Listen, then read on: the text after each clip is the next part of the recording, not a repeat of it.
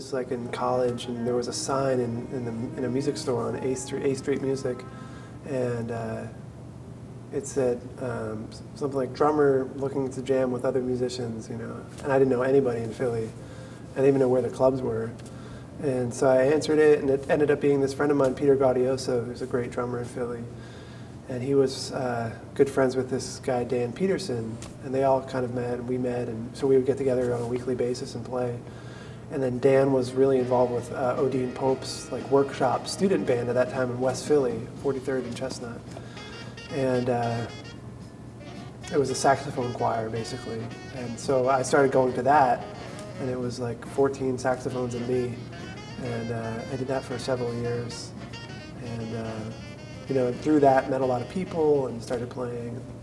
Kind of got to know the Philly scene a little bit more. Yeah, I had a couple mentors. Well, Odean, of course. I mean, he, he was uh, so supportive and such a great teacher and such a positive like person to have in my life at that time, and really patient and uh, taught me a lot about ensemble playing and harmony and melody and you know, all kinds of things, rhythm.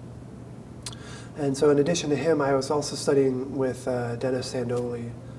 And uh, I studied with Dennis the year, for a year, and then he uh, got too sick to teach, and then he passed away shortly thereafter. And that was really great too. He was uh, a very forward-thinking teacher, you know, and would give, his materials were really uh, advanced and uh, challenging, you know, and certainly challenged me as a guitar player to better my technique and practice a lot. And so, in, in a way, even though he was really quiet and he didn't talk a lot, he was sort of a mentor to me also.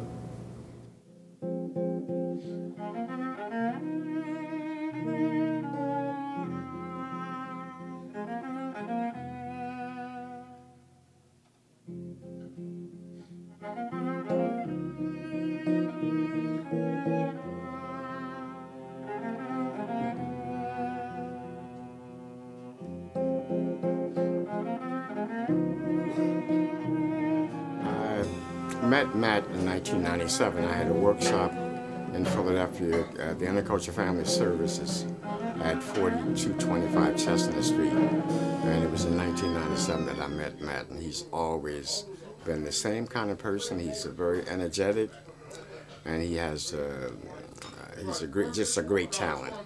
And I'm happy to be a part of his life.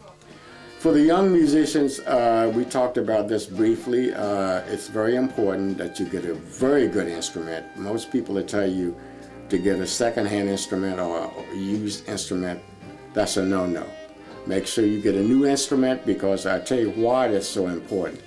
If you get a used instrument, the low B flat might not be working properly, the G sharp might not be working properly. Next thing, make sure you get a good competent teacher. In fact, I would suggest getting maybe two or three teachers to get maybe two or three different concepts of what each teacher is doing and how they're doing it.